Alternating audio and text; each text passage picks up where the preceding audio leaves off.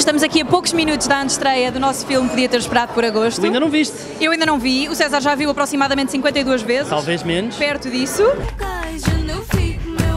A minha expectativa é que não só os que já vão ao cinema, costumam ir ao cinema, obviamente que vão, mas vão arrastar muita gente que não vai ao cinema desde o Burt Lancaster.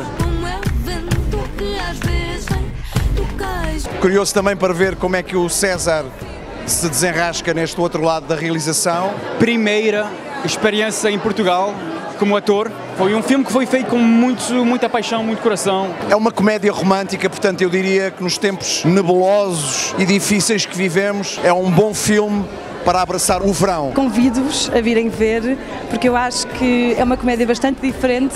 Espero que vão gostar e não perca, dia 18 de julho, nos cinemas em Portugal, por todo lado. Vejo-vos lá.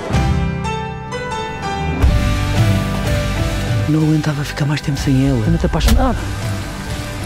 Como é que tu tiveste coragem de mentir este tempo todo? O que é que interessa eu dizer que amo alguém se depois não sou capaz de provar isso? Eu amo.